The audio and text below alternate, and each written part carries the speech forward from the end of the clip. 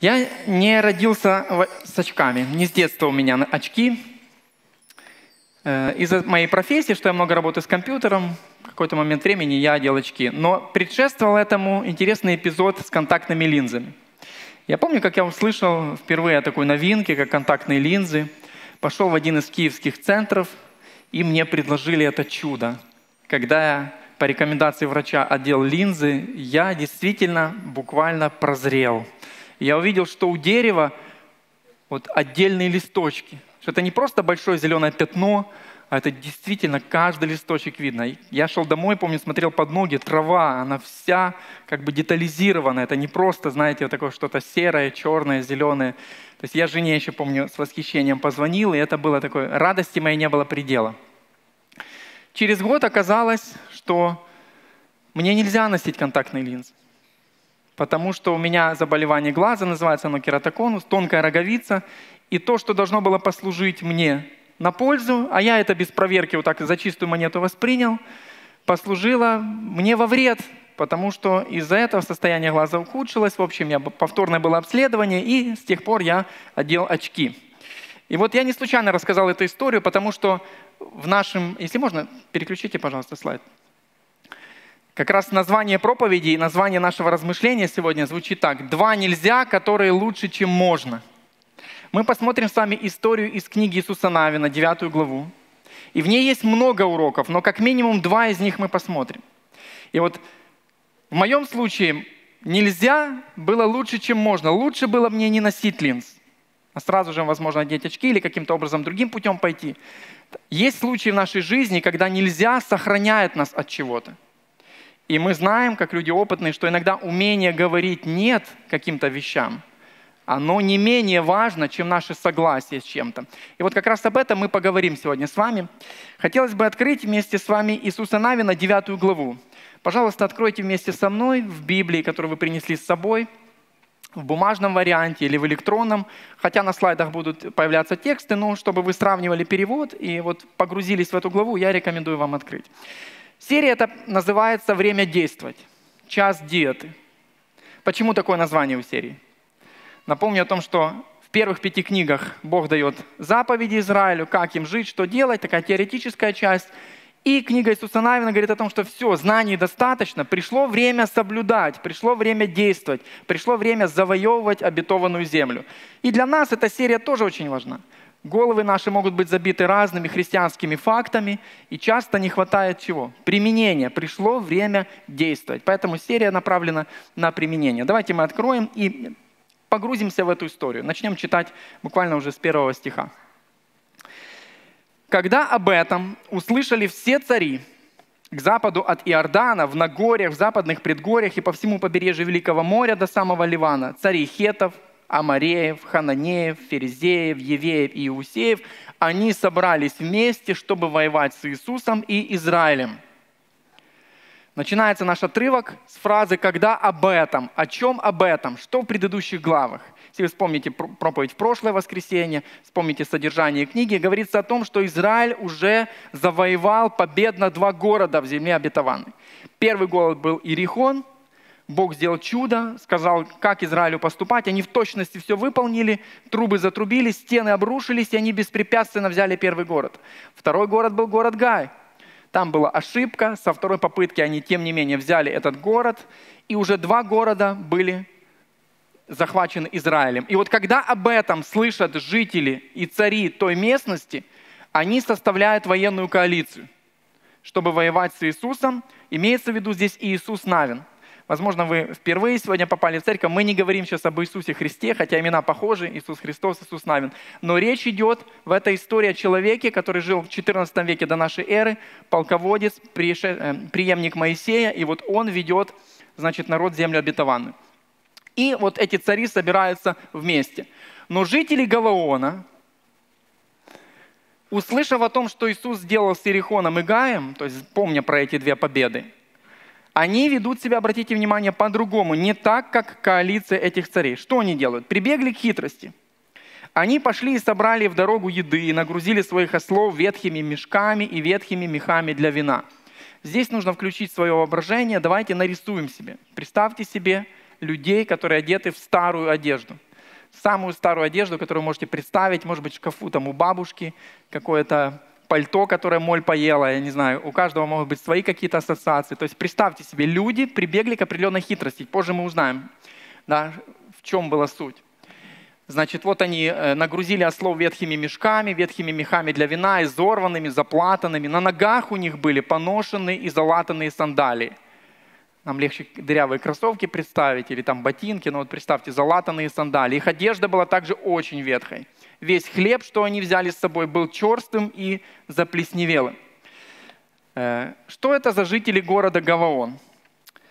Город Гаваон – это уменьшительное от Гева – еврейское слово, которое означает горка или холм. То есть уменьшительно это значит, буквально переводится название «небольшая горка». Такое было название этого города. Но в следующей главе, в 10 мы узнаем, и даст Бог, следующее воскресенье будет проповедь на 10 главу, мы узнаем, что это был э, мощный достаточно город. Несмотря на свое название, небольшая горка, это был мощный один из царских городов. И люди, которые жили в этом городе, об этом написано в 10 главе, они были люди храбрые, в других переводах мужественны. Там использовано еврейское слово «гибор», которое используется в Библии для описания, например, силача Самсона. Он был сильный и храбрый. Для описания Голиафа, слово «гибор». И вот эти люди из Гаваона тоже названы этим словом. Почему же они себя так странно ведут? Вместо того, чтобы дать отпор, э, присоединиться к коалиции вот этих вот царей, они употребляют здесь хитрость. Это слово мы встречаем также в Библии, когда Э, описано обольщение Адама и Евы змеем. Змей был хитрым существом. Он употребил хитрость и обольстил Еву. И вот эти люди тоже пошли на такую хитрость. Они пришли к Иисусу, имеется в виду Иисус Навин, да, мы понимаем, в Гилгальский лагерь, и сказали ему и израильтянам, мы пришли из далекой страны, заключите с нами союз. То есть они приходят и вот если мы посмотрим на карту, значит, вторжение евреев было с востока, вот эта земля обетованная. Бог обещал ее дать Израилю. Они только перешли Иордан. И сразу же вот в Гилгале, по сути, это была их штаб, военная штаб-квартира. Там они впервые, весь народ отпраздновал Пасху в Гилгале. И там был также жертвенник, установленный Иисусом Навином, из, которых, из камней, которые они взяли из Иордана. То есть это было место их локации. Вот именно туда приходят эти люди и говорят, мы пришли из дальней страны. Израильтяне сказали Еве, а вдруг вы живете рядом с нами? Как же нам тогда заключать с вами союз? То есть они видят, вроде бы картинка ну, складывается, все старое, но они задают им такой вопрос. Мы твои слуги, сказали они Иисусу. Но Иисус спросил, кто вы такие, откуда вы пришли? Хочет устроить им допрос. Значит, перед нами делегация людей, которые называют себя послами. Они ответили, твои слуги пришли из очень далекой страны они начинают рассказывать свою историю, да, и говорят, узнав о славе Господа твоего Бога, мы слышали о нем, обо всем, что он сделал в Египте, обо всем, что он сделал с двумя царями Амареев к востоку от Иордана, Сигоном царем Есивона и Огом царем Вассана, который правил в Аштарофе. То есть они начинают рассказывать, что им известно то, как Бог благословил победами свой народ. Они об этом слышали, это как эхо разнеслось, и вот они из далекой страны, они слышали об этом – Наши старейшины и все жители нашей страны сказали нам, соберите в дорогу пищу, идите, встретьтесь с ними и скажите, мы ваши слуги, заключите с нами союз. То есть они представляют себя кем? Послами, что в их недалекой стране им дали такую роль. Их уполномочили как послов, как делегацию отправиться в далекую-далекую страну, заключить с Израилем мир. Вот наш хлеб, он был еще теплым. Можете представить себе, как кто-то достает, значит, из этого драного мешка там хлеб, с которого сыпется уже там плесень, и вот он говорит, вот он был теплым. Когда мы дома запаслись им в дорогу, в тот день, когда, отправляясь к вам, мы дома запаслись им в дорогу. Но посмотрите теперь, как он зачерствел и заплесневел. Дальше говорит, а эти мехи для вина? И кто-то, может быть, достал эти мехи. Когда мы их наполняли, были новыми – но посмотрите, как они изорвались теперь. И точно кто-то из старейшин, возможно, взял, посмотрел, там какие-то заплатки, заштопанные мехи. Вино транспортировалось тогда не в бутылках, это намного позже уже произошло, а вот в мехах, которые изготавливались из там, кожи животных. И вот они смотрят эти ветхие старые мехи, которые пора было заменить уже, но их не заменили, потому что все время шли. А наша одежда и сандалии совсем износились за долгую эту дорогу. И они смотрят, действительно, прохудившаяся одежда, рваные сандалии. И складывается очень такое устойчивое впечатление, что эти люди пришли издалека. Но мы понимаем, что так как было использовано слово «хитрость», то перед нами не послы далекой страны, а хорошие маркетологи, как бы мы сказали. Люди, которые умеют хорошо продать, в данном случае хорошо продать себя и создать о себе определенное впечатление. Я не знаю, ли вы попадались на уловку маркетологов хороших, я несколько раз попадался. Я вспоминаю случай, когда я работал тогда в Киеве, сажусь здесь, значит, в Ирпене на электричку, заходит мужчина в электричку и показывает супер чудо мочалки. Такие металлические вихоточки, которые отмоют все на свете. И он там продемонстрировал, как это все работает. Я еду и думаю, нужно, чтобы в дома у меня была такая супер чудо мочалка. Вот, я послушал его, впечатлен был его рассказом. И вот он прошел мимо, дальше уже, значит, я сижу с этими двумя мочалками. Я купил даже не одну, а две. И потом думаю, ну как бы погорячился, зачем я две купил?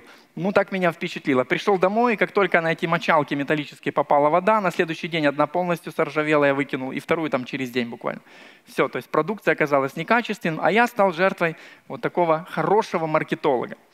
Чуть позже у нас была история уже с семьей. Я думаю, ну ладно, я впечатлительный. Моя жена более уравновешенная, степенная. Вот мы были как-то однажды семьей в Турции. Это было 10 лет нашей семейной жизни.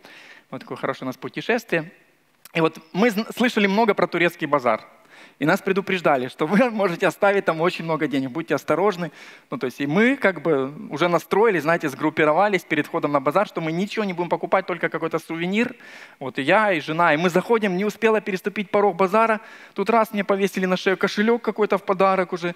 Я смотрю, тут кто-то говорит, вот чай есть, вот мой сын заготавливал, смотри, хороший, держи, это тебе подарок.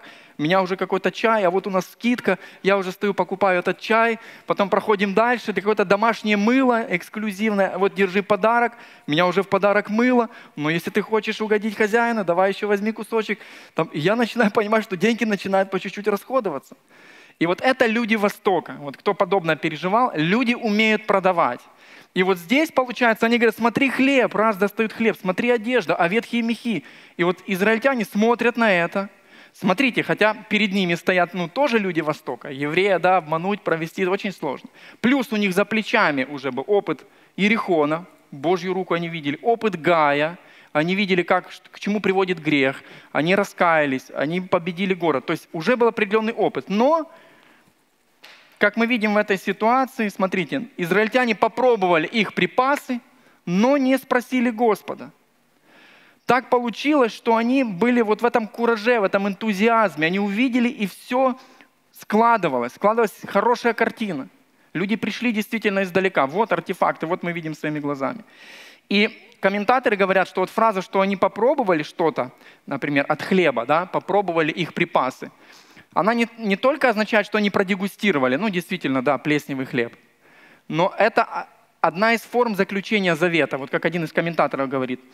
Это служило выражением со стороны израильских князей расположения к этим послам и их делу, то есть согласие на сделанное ими предложение. То есть на Востоке, когда человек пробует от твоих продуктов, это уже он доверяет тебе, и фактически это так заключался завет. И дальше стих говорит, Иисус заключил с ними мир, охраняя их жизни договором, то есть он сказал, что все, мы теперь с вами союзники, мы на вас нападать не будем, мы защищаем теперь вас. А вожди, вожди общества скрепили это клятвой. Но что происходит в следующем стихе? Спустя три дня, проходит всего лишь три дня. В случае с моей мочалкой хватило суток, чтобы увидеть, да, что это было плохо. Здесь три дня. Как они заключили союз с гаванитянами, израильтяне узнали, что это их соседи, живущие рядом. То есть, когда мы посмотрим на карту, мы увидим, что нету даже 50 километров расстояния до города Гаваон. Эти люди пришли совсем недалеко, создали такое себе впечатление. Дальше мы узнаем их настоящий мотив, почему они так сделали. То есть достаточно близко. Плюс, что плохого еще было в этом поступке скверного, кроме обмана? Ведь эти люди фактически, смотрите, тут идет э, как раз военная оппозиция из этих царей. В следующей главе пять царей, они будут возмущены поступком гаванитян потому что те из ихнего тыла заключили союз, то есть автоматически поставив под угрозу целостность вот этого всего э, как бы союза этих царей. И поэтому они нападут в следующей главе уже на гаванитян, и Иисусу Навину придется их защищать. Итак, первое нельзя. Помните, мы говорим два нельзя, которые лучше, чем можно в нашей жизни. Первое нельзя. Нельзя полагаться на желаемое. Нельзя, кто-то перефразирует, выдавать желаемое за действительное, даже если очень это похоже на правду. Нужно иметь бдительность. Они попробовали от хлеба, но потеряли бдительность и не спросили Господа. Нельзя полагаться на желаемое. Ну, почему же евреи попались? Что еще могло способствовать их такому поспешному решению? Оказывается, в книге Второзакония есть одно удивительное обещание Израилю. И вот наверняка Иисус Навин и старейшины, видя гаванитян, они могли вспомнить это обещание. Вот я прочитаю его сейчас, Второзаконие 28 глава, 9 и 10 стих. Смотрите, что Бог обещает Израилю. «Поставит тебя Господь народом святым, своим, как Он клялся тебе, если ты будешь соблюдать заповеди Господа Бога твоего и будешь ходить путями Его, и увидят все народы земли, что имя Господа нарицается на тебе, и убоятся тебя». Смотрите, как все складывается. Если они знали об этом обетовании, что происходит? Они остались верны Богу. После случая с Гаем они раскаялись, они стали послушны Его заповедям. И обещание, говорит это обетование, увидят все народы земли. Вот, конечно, вот это пророчество, оно сбывается. Эти люди пришли издалека. И помните их речь, как они начали? Мы видели славу твоего Бога, точно как в пророчестве. Увидят все народы земли, что имя Господа нарицается на тебе. И дальше пророчество говорит, и убоятся тебя. Как гаванитяне, с чего они начали свой диалог? Что мы твои кто? Слуги. Мы не просто твои партнеры, они вот это почтение, уважение, этот страх свой выражают. И все сходится. И наверняка Иисус Навин и старейшин думают, вот оно, исполнение пророчеств. Бог поставил нас, люди издалека идут, поклоняются ради славы Бога Израилева. Очень хорошая картина. Так и должно быть. Это исполнение пророчества. Ну, не только евреи оказываются в такой ситуации. Я думаю, вот такой пример – и следом еще один пример, покажет нам, что и мы можем стать где-то э, жертвой подобного маркетинга. Вот э, несколько лет назад очень популярно было такое смс-сообщение. Поздравляем, я тоже получил, кстати, такое сообщение. Вы выиграли авто Toyota Corolla. Детали, значит, на сайте, и там киевский номер телефона. Кто-то получал где-то в 2017 году, не помните такое сообщение? Есть такие люди? Вот кто-то, да. То есть я получаю это смс-сообщение и думаю, ну, на кого они рассчитывают? То есть я выиграл машину, я ни в каком конкурсе не участвовал. Ну, думаю, зайду на сайт. Я зашел на сайт, посмотрел, очень качественно сделанный сайт. Написано о том, что мы не дилеры Toyota, но мы с ними сотрудничаем. Потом мы сотрудничаем с компанией А1 Телеком. Они распространяют, значит, вот эту акцию. Мы в партнерстве, отсюда у нас ваш телефонный номер. Все как бы так грамотно оформлено. Ну, я оставил это сообщение и все. Но вот если вы зайдете на сайт ТСН и посмотрите, что не все так реагируют, вот. Э, мой земляк, тоже зовут Сергей, из Хмельниччины, он решил позвонить по этому номеру телефона. И, значит, это в 2017 году было летом. И он позвонил туда, ему говорят, да, все правда, вот мы сотрудничаем с компанией Toyota, у нас есть 10 машин, мы их разыгрываем вместе с компанией А1 Телеком, но мы можем вам в эквиваленте, то есть можете машины взять, а можете 416 тысяч гривен, мы вам перечислим, вы выиграли. Ну, человек ну, радуется, как бы проверенная информация, ему отправили на сайт, действительно условия акции описаны, все, он там пощелкал, покликал. Вот, он говорит, только нужно одно условие, один процент нужно нам переслать. Один процент, вот, э, в общем, как-то его там уговорили, и он 4100 с чем-то там гривен переслал им. Потом мне звонят, спасибо, мы получили ваши деньги, занимаемся там оформлением документов, но еще указом Порошенко Петра нужно еще 2%. В общем, этот человек на 17 тысяч гривен им выслал процентов, ожидая, что? Свой автомобиль. Он положился на желаемое. Ну, вы понимаете, потом эта афера раскрылась, никто ему автомобиль давать не собирался. Но все выглядело очень точно. Позже, оказывается, эта компания Один Телеком, она вообще есть такая в Америке, она вообще занимается каким-то там оборудованием. В Украине она даже не зарегистрирована. В общем, все это мошенничество от... раскрылось, но для него было слишком поздно. А вот здесь более свежий пример – Некоторые начали улыбаться. Вот совсем недавно было в Вайбере. Кто получал такое сообщение? О, многие. Что Adidas, смотрите, раздает, представляете, 3000 бесплатных пар обуви. Ну, большая компания, хорошая, может себе позволить. Плюс 1800 футболок. Почему? Причина. 95 лет празднует Adidas и щедро делится со всеми. И вот тоже по разным, там, так я посмотрел несколько источников, что же там происходит, если вы переходите там на сайт и так далее. Это, возможно, инфицирование вашего телефона, попадает вирус, он крадет всю вашу адресную книгу. В общем, убытков больше, чем радости от неполученных кроссовок, которые якобы, или футболки, которые мы должны были получить. Поэтому вот этот маркетинг вокруг нас сплошь и рядом. И неудивительно, они в свое время попались на эту ловушку. Да? Но и сейчас времена не изменялись. И нужно иметь трезвый рассудок. Нужно иметь вот критическое мышление, чтобы проверять, чтобы советоваться.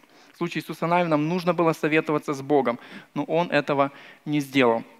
И Писание предупреждает нас, чтобы мы были бдительными. Вот в этом контексте давайте прочитаем знакомый многим текст из притчи. «Надейся на Господа всем сердцем твоим и не полагайся на разум твой. Во всех путях твоих познавай Его, и Он направит стези твои». Ну что, Бог против нашего разума? Нет, наоборот. Мы призваны любить Его всем нашим сердцем, всем нашим разумением. Разум нам нужен, когда мы познаем Писание, читаем, исследуем, размышляем. Но при этом Бог дает определенную такую границу – что во всех твоих ситуациях, что даже и разум, в котором ты уверен, все факты на лицо, логика твоя тебя не подводит, разум может ошибиться. И поэтому, если и надеяться на что-то в жизни, то на того, который никогда не ошибится. И поэтому мудрый Соломон говорит, не полагайся на свой разум, полагайся в любой ситуации на Господа. Этого совета очень сильно не хватало в тот момент Иисусу Навину, который как раз положился на то, что он видел. Жизнь с Богом – это путь, а не цель. Подытоживая вот этот принцип, что сказано в этой фразе? Что жизнь с Богом нельзя вот так как галочку, как завершенную цель поставить. Вот я уверовал, все, моя жизнь пройдена. Мне нужно мудрым быть. Я не могу стать мудрым на всю жизнь. Я могу мудрым быть сегодня. То есть жизнь с Богом – это ежедневный путь. Нельзя так начитаться Библию на всю жизнь. Мне нужно как хлеб, нужно это воспринимать, читать Слово Божье сегодня. Решение мне нужно принимать сегодня. Мудрость мне нужна на сегодняшний день. Полагаться на Бога я должен сегодня в своей жизни. И нельзя не вспомнить, конечно, вот историю, в которой оказался Иисус Христос. Она очень похожа по методу искушения на, то, э, на, то, на ту битву, которую Иисус Навин проиграл. Он положился на свои глаза. Помните история, которая произошла с Господом Христом? Во время искушения на сороковый день, когда Христос постился в пустыне, он очень сильно захотел кушать. И дьявол решил как бы искусить его через его глаза. Он сказал, чтобы вот эти камни, которые так похожи на хлеба, чтобы Христос превратил их в хлеб. И это то, что нужно было Христу, потому что сороковый день он ничего не ел. И это очень такое подлое было на последний день да, этого поста, коварное искушение. То есть он говорит, вели этому камню сделаться хлебом. Вы видите, здесь картинка, да, вот есть камни и есть хлеб, достаточно похожи, когда ты голоден. То есть дьявол провоцировал его на картинку. Но мы знаем, читаем Евангелие, как Христос ответил. Иисус сказал ему в ответ, написано, не хлебом одним будет жить человек, но всяким Словом Божьим. То есть Иисус Христос продолжал полагаться не на то, что Он видит, не на свои желания, не выдавал, не полагался на желаемое, как мы говорим, первое нельзя, да, первый принцип. Но Он полагался на Слово Божье. Нельзя полагаться на то, что так сильно похоже на правду. Лучше полагаться на саму правду, которая является Слово Божье. Бог имеет абсолютную мудрость. Все самое лучшее Он записал в Своем Слове – и, конечно же, моя гордость не позволяет мне полагаться на Бога. Люди сомневаются в авторитетности Библии, как Бог мог это записать и так далее. И склонны ходить своими путями. Но вот путь Христа показывает нам, что это ошибочный путь. Христос, будучи сам Богом, Он полагался в этой ситуации все равно на Слово Божье. И неудивительно, Писание говорит, что нам нужно быть очень осторожными, потому что дьявол, сказано в послании Коринфянам, принимает вид ангелов света – и у него есть свои служители. И одно дело, когда мы попали с вами, попали на деньги в таком торговом маркетинге, ну, деньги потеряли, очень печально, очень грустно. Другое дело, когда, представьте, если маркетинг медицинский, и вы стали жертвами аферы какой-то медицинской, и подорвалось ваше там здоровье, это еще губительнее последствия. Но еще хуже, когда мы можем стать с вами по незнанию жертвами маркетинга духовного. Когда уже учители появляются и говорят, ты с Богом, ты не должен болеть. В Эдемском саду же не было болезни. Нет, Бог против болезни. Поэтому если ты болеешь, у тебя мало веры. так называемое Евангелие процветания. Или ты с Богом, ну ты должен быть богат. А почему ты не богат? У тебя мало веры. Или ты не с тем Богом. И подрываются неутвержденные души, подрывается вера. И мы знаем, что есть такие духовные шарлатаны. И тут на кон поставлена уже вечность. Поэтому Бог предупреждает нас. И пример Христа – полагаться всегда на Слово Божье. Вот почему в воскресенье звучит Слово Божье, вот почему мы дома читаем Слово Божье, на группах изучаем Слово Божье, чтобы мы научились полагаться на того, кто верный. Полагаясь на Слово Божье, я полагаюсь на самого Бога, на мнение самого Бога, на ценности самого Бога. И это выход для нас. Что происходит дальше в истории? Вы знаете, что не бесследно прошла эта ошибка, и мы читаем с вами. Тогда израильтяне отправились в путь, на третий день пришли к их городам. Гаваону, Кефире, Беерофу и Кириафе и Ариму. Вот эти четыре города, откуда были эти послы так называемые. Они оказались вот в трех днях пути. Но израильтяне не напали на них, потому что вожди общества поклялись им Господом Богом Израиля. Все общество роптало против вождей. Происходит смута внутри народа. Воины готовы завоевывать города, а они не могут, потому что с этими жителями этих городов начальники их не установили мир. Это такая патовая ситуация. Они начинают роптать, э, возможно, злословить своих вождей. А вожди отвечают, мы поклялись им Господом Богом Израиля, не можем теперь тронуть их. Из этого эпизода мы тоже можем несколько таких тезисов взять для себя. Тезис первый. Твой начальник может серьезно ошибиться. Точка. Никто не застрахован. Иисус Навин со старейшинами, даже группа начальников, они серьезно ошиблись. Твой учитель в школе может серьезно или в университете ошибиться. Лидер домашней группы, он может ошибиться. Пастор, он может ошибиться. Это первый тезис. Второй тезис. Ошибка начальника распространяется на подчиненных. Начальник ошибается, страдает вся организация, весь коллектив. И это правда. И третий тезис. Чем выше ответственность, чем больше у человека подчиненных и людей, которые следуют за ним, уважают его, его авторитет, тем ближе в отношениях с Богом такой человек нуждается быть. Тем осторожнее он должен быть в своих суждениях, в своих решениях. Ну и Писание говорит, они говорят, мы поклялись. Вот почему Христос говорит, не клянись вовсе. Поэтому это очень такой опасный путь. И мы видим здесь ситуацию, все как есть. Начальники ошиб, ошиблись и конфликт в народе. Вот что мы сделаем. И они пытаются этот конфликт решить. Нужно найти компромисс. Убивать этих людей нельзя, с ними мир. Но, но оставить в таком положении тоже нельзя. Они э, обманули, они лукаво действовали, они противники. Говорит, мы оставим их живых, чтобы на нас не обрушился гнев за нарушение клятвы. Обратите внимание, как они сразу же реагируют. Они говорят, мы уже поклялись. И если мы сейчас откатим наши слова назад, отменим, потому что это враги, все, разоблачилась ситуация, мы обретем себя на гнев – и, кстати, позже, в поколениях, если вы эту историю дальше проследите с гавайнитянами, Саул однажды, царь Саул, он решил забыть об этой клятве, и он покарал часть гавайнитян, убил. И Бог за это послал на три года, он послал засуху. Когда Давид через пророка вопрошает, почему нету дождя три года, Бог говорит, это за то, что Саул нарушил клятву. То есть Бог, он за клятвами следит. И вот евреи хорошо это понимали что это не просто были сказанные слова. Говорит, мы обруш... чтобы не обрушился гнев за нарушение клятвы, которую мы им дали. И они продолжили, пусть они живут, но будут дровосеками и водоносами для всего нашего общества. Так обещание вождей не было нарушено. Они находят компромисс. Кто такие были дровосеки? Представляете, в, в иудейской пустыне, вот я один раз был в Израиле, то есть там дрова не валяются, как у нас здесь в Ирпенском лесу.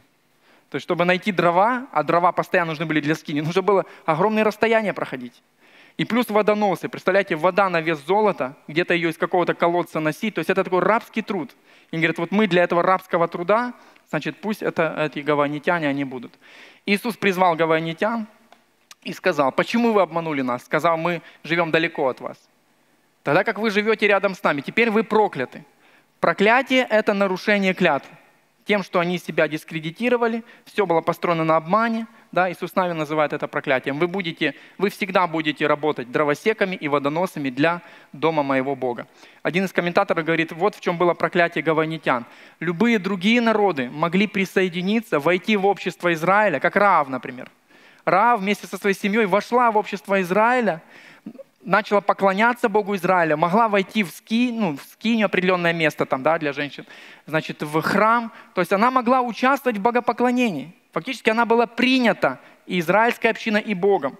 Эти же люди, они никогда не были приняты в саму общину. Они всегда оставались теми, кто снабжает водой, снабжает дровами, но сами не могли войти и участвовать в богопоклонении. Они всегда были рядом с Царством Божьим, грубо говоря, но никогда не могли зайти туда. В этом было проклятие для гаванитян. И они отвечают Иисусу Навину, «Э, «Твои слуги узнали наверняка, что Господь твой Бог повелел слуге Моисею отдать нам, э, вам всю эту землю, истребить перед вами всех ее жителей. Мы очень испугались за свою жизнь. Видите, второй виток разговора, все разоблачилось через три дня, и это совсем другая песня уже. Здесь мы не видим, что мы удивились славе Бога Израилева, вся эта шелуха спала, и виден их ненастоящий мотив. Говорит, нам стало страшно за свои жизни, вот, они примиряться они с Израилем не хотели, и они вот такой хитростью вошли в Божий народ. Как один из комментаторов сказал, они захотели присоединиться к Божьему народу, но без Бога, не Божьим путем. И потому поступили так. Теперь мы в твоих руках, поступай с нами, как сочтешь лучшим и справедливым. И Иисус защитил их от израильтян, то есть убить их нельзя теперь уже, и те не убили их. В тот день Он сделал гаванитян дровосеками и водоносами для общества и для жертвенника Господа на том месте, какое бы Господь не избрал. Они делают это и до сих пор. Заканчивается такое повествование. И какой второй принцип мы можем взять из этой истории? Мы видим, что все, много вот диалогов крутится вокруг понятия клятвы. И второй принцип. Нельзя нарушать данное обещание. Мы видим здесь, Иисус Навин остается верным своим словам. Даже оно уже было ему невыгодно. Даже после того, как он обнаружил, что он был обманут. Он все равно держит свое обещание. Почему он так поступал? Вот интересно, в другом тексте Библии, в Псалме, в 14, э, Давид пишет 11 характеристик человека, который может с Богом жить в одном шатре – кто может служить Богу, мы бы сказали, в одной команде. Кто с Богом может быть, кто на его горе может быть. И он 11 качеств этого человека пишет, и вот в синодальном переводе одно из 11 качеств, кто клянется хотя бы злому и не изменяет. Э, такой немножко странный стих, я когда впервые прочитал его, помню, думаю, как это? То есть я, например, э, какому-то злому человеку пообещал, что я буду в его злом деле. Потом я думаю, да нет, это злое дело, я не буду участвовать. Но раз я уже поклялся этому злому, ну, не должен изменять, выходит, я должен участвовать. Но думаю, ну как-то странно, ведь псалом-то называется, начинается, кто может пребывать в жилище с Богом? Разве может такой человек быть с Богом? Что-то не так. И вот когда мы смотрим другие переводы, проливается ясность что речь идет о таком качестве человека, кто клятву хранит, пусть даже себе во вред. Понимаете, там нет никакого злого человека. Он хранит клятву даже себе во вред. И остается верным этой клятве. Вы договорились о каком-то товаре, договорились продать его за какую-то цену, потом видите, курс доллара скакнул, вам уже невыгодно, но вы дали обещание, и вы должны держать это обещание. Это качество еще называется в человеке словом целостность очень важное качество для человека. Вот послушайте определение слова «целостность». Что такое целостность? Я специально использовал это слово не честность, не там верность обещанию, именно целостность. Целостность – это практика быть честным и демонстрировать последовательную, бескомпромиссную приверженность строгим моральным, этическим принципам и ценностям. Практика быть честным и держать стержень, не отступать от принципов – да, вот бескомпромиссно придерживаться принципа. То есть целостный это как вот дерево, которое ты подходишь, со всех сторон оно одинаковое. Целостный человек, он в церкви вот такой, ты смотришь и в семье он такой, и на работе он такой. Вот о Христе, когда попытались какое-то обвинение найти, никто со всех сторон не смогли найти никакое обвинение на Христа. Потому что он был целостным человеком. Каким он, какие речи у него были, как он был с учениками, как он был в своем общении с отцом, он был везде одинаковым, он был везде целостным. И Бог сам является таким и очень это ценит. Как, распос... как этот принцип применим, да, кля... Э, хранить клятву? Первый вид клятв, который мы можем вспомнить, конечно же, это наше брачное обещание. У кого-то это произошло в ЗАГСе, когда вы поставили свою подпись, вы заключили завет был госслужащий, была ваша супруга или супруг, вы заключили брачный завет. У кого-то в церкви было венчание, когда мы в присутствии свидетелей обещаем верность, и заключается брачный завет. Поэтому прежде всего Бог за то, чтобы браки да, сохранялись до того момента, как эта часть брачной клятвы, пока смерть не разлучит супругов. Верность в браке. Но общество работает против этого. И вот предложили людям светским альтернативный вариант клятвы – то есть не популярно, не модно быть целостным сегодня. І от як звучить этот варіант. Я, Джон, беру тебе, Мері, за співмешканку, щоб займатися з тобою сексом і разом сплачувати рахунки. Буду поблизу, поки все добре. А коли щось піде не так, то може і не буду. Якщо ти застудишся, то побіжу в аптеку по ліки. Якщо ти занедужаєш настільки, що не зможеш надалі задовільняти мої потреби, то мені треба буде рухатися далі. Відмовляючись від багатьох інших жінок, я буду більш-менш вірним тобі, поки мені це буде вдаватися. Якщо ми розійдемося, це не означає, що для мене наші стосунки не були особливими. Я присягаю жити з тобою, аж поки мене все влаштовує. Я клянусь жить с тобой до тех пор, пока меня все устраивает. Это из сатирического журнала, но мы понимаем, что в принципе очень много вот, правдивого в этих словах. Это горькая правда. Люди не говорят это, но то, как они живут, называя это гражданским браком, там, сожительством, любыми другими формами, которых нет в Библии. Фактически это и есть. Это, это жизнь без всяких обязательств. Поэтому важно да, оставаться верным до конца. Бог подчеркивает это. Верность после покаяния. То есть верность не только своему супругу, но целостность также проявляется в том, что я верен Христу. Не только когда Он меня благословляет, а что, если Он на какое-то время решил меня не благословлять и испытывает меня? Останусь ли я верным Ему тогда? Потому что Христос, Он верен нам. Он дает обещание, что э, в одном из текстов, смотрите, «Кто мне служит, мне да последует, и где я, там и слуга мой будет». Иоанна 12, 26. Христос обещает со своей стороны, что где Он находится сейчас, с Отцом на небесах, там будут и Его слуги – он нам верен в своем обещании. Остается верность с нашей стороны.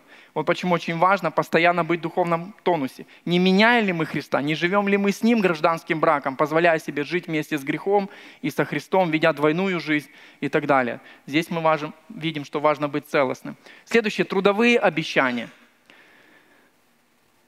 Вспомните момент, когда вас принимают на работу, есть определенный контракт, и вы соглашаетесь с условиями этого контракта. Целостный человек всегда будет и дальше продолжать ну, жить и действовать согласно своему слову, которое он дал начальнику. Точно так же со стороны начальника. Если начальник обещал такую зарплату, и вы работодатель, вы должны следовать этому. Даже если вам уже во вред, да, нужно там пересмотреть, ну, то есть разные бывают моменты, но вы должны делать максимально, чтобы придерживаться клятвы и обещания, которые вы дали. Обещания в учебе – это больше, наверное, для школьников. Кто-то думает, ну я в школе никому ничего не обещал. Но на самом деле, когда родители определили вас в первый класс, хочу напомнить всем школьникам, они писали заявление на имя директора. И подразумевается, что ученики, у них есть своя роль, они обязуются учиться, выполнять задания. У учителей есть своя роль. Это тоже своего рода такой контракт. Позже в университете, конечно, это более там черным по белому написано, ясно. То есть обещания, данные в учебе. Если вы студент, не забудьте, вы студент. Вам нужно сдавать все, что необходимо для сессии, нужно читать все, потому что это тоже показывает нашу целостность. Обещание вернуть долг. Если есть какие-то долги, вы обещали, вам нужно его вернуть. Хотя всегда есть искушение скруглить угол, перестать быть целостным. В церкви одним, с людьми другим – но мы знаем, что Бог, будучи сам целостным, уважает целостность, поощряет целостность, призывает к целостности. Обещания, данные детям. Специально добавил сюда этот пункт. Потому что мы думаем, ну я взрослому сказал, ну действительно, ну пообещал взрослому, другу, там, ну из кожи вон нужно вылезти и сделать. Ну а когда ребенку сказал, ну как бы, ну так, как бы, ну извини и все. На самом деле ребенок тоже личность. Если родители что-то пообещали, нужно держать свое обещание. Или тогда не говорить. Потому что ребенок воспринимает через призму отца или матери Бога. Это для него первые познания о Боге он черпает как раз в семье из поведения отца или матери. Поэтому если отец или мать целостны, следят за своими словами, выполняют обещания, то, конечно же, это проецируется. И, и когда ребенок потом слышит слово «отец», «небесный отец», он, ага, значит, мой отец так, так ведет себя, небесный отец так, тогда все складывается. Очень важно это. И завершая уже как бы всю эту главу, мы не можем не сказать еще несколько слов об Иисусе. Потому что Он был испытан намного сильнее, чем Иисус Навин. И Иисуса Навина никто в конце жизни не распял на кресте. У него были свои стрессы, свои вызовы, но в жизни Христа были намного более высокие нагрузки. И он остался верным. Отец дал ему заповедь, чтобы он родился, чтобы он прожил на земле, чтобы он пошел на крест и умер на кресте. Это была заповедь от Отца – Иисус не скруглил углы, Он пошел до этому, по этому пути и дошел до конца. Вот смотрите, как пророчество говорит об этом. «Я подставил спину бьющим меня». Пророк Исаия пророчески видит, и от имени Христа написаны эти слова. «Щеки тем, кто рвал мне бороду. Я не прятал лицо от насмешек и плевков». Он видит здесь пророчески страдающего Мессию. Мессия, который не сдается, не отступает назад – не прячет свое лицо, который идет вперед к своей цели. Владыка Господь помогает мне, поэтому я не стыжусь. Я сделал лицо свое как кремень и знаю, не постыжусь я. В этих стихах мы видим, с одной стороны, очень тяжелый контекст, когда тебе плюют в лицо, рвут тебе бороду, когда тебя избивают. И с другой стороны, мы видим, что несмотря на этот контекст, почему-то этот страдающий Мессия, он идет вперед, не убегает от этого контекста но делает лицо как кремень, то есть твердым, целеустремленным, и идет в эти тяжелые обстоятельства. И вот тут я задаю себе вопрос, в чем секрет? Как можно оставаться целостным в таких тяжелых обстоятельствах? И вот предыдущий стих как раз дает ответ. Что имел Иисус и что давало ему силы так действовать? Нижний стих читаем. «Я не противился, назад не повернул». Видите, это продолжение. То есть он не отступил, от пути, который вел его на крест, не повернул назад. Почему? Перед этим есть такой стих. «Утро за утром Он будет меня, будет ухо мое, чтобы я слушал, как ученик. Владыка Господь открыл мне уж». Интересно, очень приоткрывается жизнь Мессии. В Новом Завете мы видим, как вот это пророчество, что Иисус каждое утро общался с Отцом, как и евангелист Марк это описывает. Исаия увидел это заранее, что Христос Мессия будет черпать силы и подпитки для каждого дня – через свое вот это тихое время с Богом. Смотрите, вы видите эту связь? Это все один отрывок. Бог его будет по утрам, говорит его, наставляет, дает ему уверенности, силы полагаться на Отца. И потом он говорит в этом всех тяжелых обстоятельствах, Владыка Господь помогает мне. Как помогает? На тебя плюют, тебя ведут сейчас на крест. Но вот эта внутренняя жизнь с Отцом помогла Иисусу пройти, остаться стойким, остаться целостным и не сдаться. И возникает вопрос, как мы можем подобную внутреннюю жизнь иметь в своей жизни, в жизни своей семьи, своих близких. Я попросил бы сейчас доску, если можно вынести. Просто уже как завершающее такое применение, как иллюстрация. Значит, мы назвали это в нашей семье «Четыре стены нашего дома». Может быть, это будет полезно также и для вас и применимо. Как я уже говорил, что христианская жизнь – это не цель, которую ты галочку доставил, все, ты уже спасен, все хорошо. Это путь. Путь означает, что у тебя есть отрезки пути. И один из отрезков пути – это один день. Ты хочешь молиться всю жизнь? Помолись сегодня. Ты хочешь любить Бога всю жизнь? У тебя есть отрезок, это, это длинный путь. Люби его сегодня. Поэтому очень важно иметь вот этот сегодняшний день, если можно так сказать, автономно для того, чтобы быть в тонусе. Мне нужно сегодня общаться с Богом. И мы назвали вот это четыре стены нашего дома – конце августа пришла такая идея, мы ее в семье обсудили и начали практиковать. Значит, вот первая стена. То есть идея такая, нужно каждый день, каждый член семьи нашей строит четыре стены. Когда есть у дома четыре стены, это дом, который в безопасности. Бог ложит на него крышу, как свое благословение. Мы защищены и безопасны. И каждому нужно строить каждый день четыре стены. Их нельзя построить наперед, на завтра, на послезавтра, только на сегодня. Это и есть вот путь. Значит, первая стена называется, мы назвали ее так, это утренняя молитва. Утренняя молитва. То есть это то, что происходит у каждого лично. Это стена, которую каждый лично из нас, как член семьи, должен строить. Почему я делюсь это с широкой такой э, аудиторией? Потому что я верю, что если у вас нет еще жены, нет у вас детей, вы можете эти четыре стены выстраивать вместе со своими друзьями, быть кому-то подотчетным и так далее. Значит, первое – это утренняя молитва. Если это школьный график, например, приблизительно там 7.30 дети в школу, то есть, да, есть такое время для молитвы. Помолиться, попросить Божьего благословения да, на этот день и отправиться в этот день. Утренняя молитва. Внизу дня, угадайте, как вы думаете, как может называться нижняя стена? Вечерняя молитва.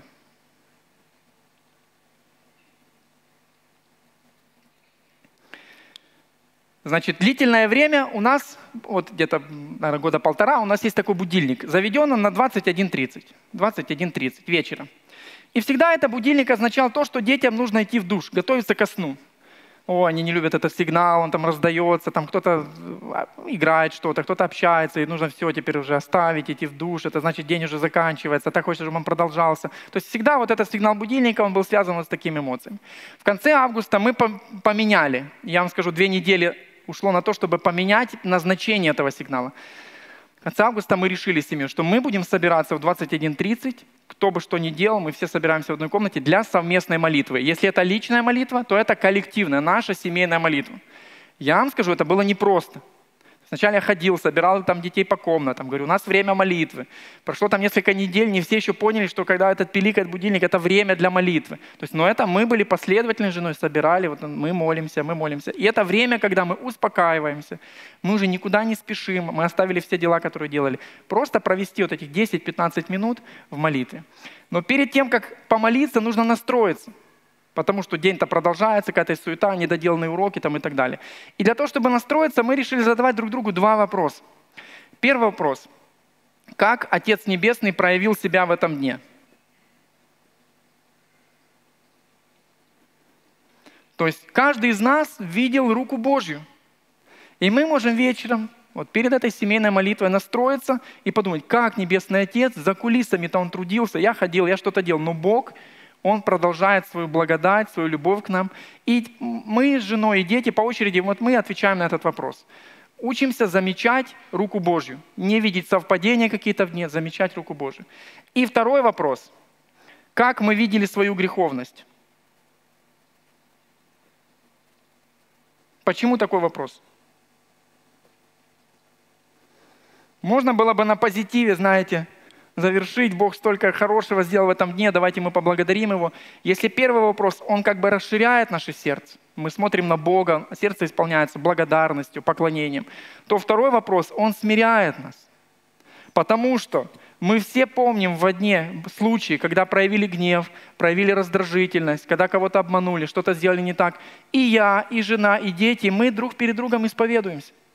И мы говорим, да, пролазило. Грех невозможно искоренить из нашей жизни, пока мы живем в старом неискупленном теле. И это сопровождает нас. И поэтому этот второй вопрос, он смиряет нас. Он наше сердце ставит в правильное положение, что несмотря на нашу греховность, Отец Небесный все равно заботится за нас и благословлял нас. И потом у нас идет время молитвы. Мы делаем просто молитву по очереди. Вот. Или было такое, что мы с пацанами пошли в одну комнату, жена там с дочкой в другую комнату. То есть вот так вот проходит вечерняя молитва. Но между этими двумя стенами есть еще много часов. Нужно строить третью стену. Третья стена звучит так. Личное чтение Библии. Личное чтение Библии. Все очень просто. Как бы название стены говорит само за себя, что каждый из нас должен в течение этого времени, хорошо, если это ближе к утру, когда мозг еще не загружен, ну, может быть, в обед, некоторые приходят со школы, читают в обед, там, да, или там вечером, но важно между двумя этими как бы стенами пообщаться с Богом, почитать что-то из Писания, из истины, которая пропитывает нас, чтобы мы могли благочестиво жить, угождать Богу. Личное чтение Библии. И остается еще одна стена. Называется она просто «Обсуждение прочитанного» обсуждения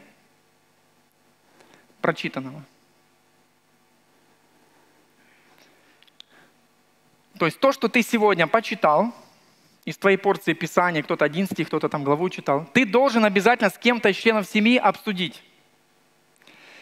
И вот из всех э, членов нашей семьи Влад, наш сын, больше всего схватился за эту стену. И знаете, что каждый день, вот без пропусков, начиная с конца августа, и до сегодняшнего дня. И вот недавно, он, буквально во время между второй и третьей песней, он мне задает всегда один и тот же вопрос. И он сегодня его тоже задал. Знаете, как звучит вопрос? Папа, что ты сегодня читал из Библии? Потому что он знает, ему нужно закрыть эту стену. И он нас всех вдохновляет этим вопросом. Это очень хороший вопрос. Это духовная подотчетность внутри нашей семьи. И смотрите, две дисциплины тут есть духовные, личные, а две коллективные. Ты не можешь пройти эту стену, если ты ни с кем-то не побеседовал. Или с родителями, или с другим кем-то. Вот. И таким образом вот это создало определенный микроклимат такой духовный в нашей семье. Это очень простая модель, о ней легко рассказать, ее легко передать. Если вы не семейный человек, я не думаю, что здесь что-то меняется. Утренняя молитва у вас может быть личная, вы почитали Писание, но вы должны быть озадачены днем кому-то написать сообщение вашему наставнику, члену домашней группы, чтобы обменяться вот этим духовным опытом, кто чему, э, что Господь кому сказал и так далее. И вечернее время вечерней молитвы тоже здорово, если есть это делать в кругу семьи или, например, там, да, вместе с кем-то по телефону можно помолиться или по, по вайберу. Хотел поделиться этим с вами. И завершаем, напомним друг другу два нельзя, которые лучше, чем можно. Первое. Нельзя полагаться на желаемое. Нам нужно каждый день быть в духовном тонусе. Хочет ли этого Бог? Перепроверять, советоваться с наставниками, советоваться с людьми зрелыми, чтобы не полагаться на желаемое, потому что это приведет к разрушительным последствиям. И второе, нельзя нарушать данные обещания, которые мы давали своим женам, давали Христу, когда уверовали в Него, давали кому-то по работе или своим друзьям. Пусть поможет нам в этом Господь. Давайте мы помолимся, друзья. Господь наш дорогой, мы благодарны Тебе за замечательную историю из книги Иисуса Навина – мы видим эту проблему, этот кризис, в который попал Иисус Навин как вождь, как предводитель. Он ошибся. Ошибка многого ему стоила, Господи. Но мы рады, что мы могли посмотреть также и на Тебя, Христос. Ты остался верным Отцу, полагался всегда на Его слова, не действовал своевольно, был всегда в послушании. И этим Ты показал нам маршрут, Господи. Мы просим Тебя, чтобы Ты помог нам изо дня в день очень осторожно, аккуратно, в тесной связи с Тобой идти этим маршрутом, Господи. Тем самым мы обезопасим себя от лишних, ненужных грехов в нашей жизни. И, Господи, будем испытывать большую радость от Твоего присутствия. Благослови нас идти этим маршрутом каждый день, Боже. Также Ты знаешь обещания, которые мы давали своим супругам, обещания, которые мы давали во время крещения, Господь, обещания, которые мы давали своим друзьям или кому-то по работе. Мы просим, чтобы Ты учил нас и показывал, вот где мы не храним целостность, чтобы мы могли в этом раскаяться, чтобы мы могли это исправить, отдать долги и быть целостными людьми, одинаковыми всегда, и в церкви, и на работе, Господи. Помоги нам в этом. Мы видим из этих историй, что люди ошибаются, и мы, возможно, ошибемся, что мы не сможем хранить эту целостность, но благодаря поддержке Твоего Духа мы можем, Боже. Поэтому помоги нам и в этом полагаться на Тебя. Просим Тебя во имя Отца и Сына и Духа Святого. Аминь.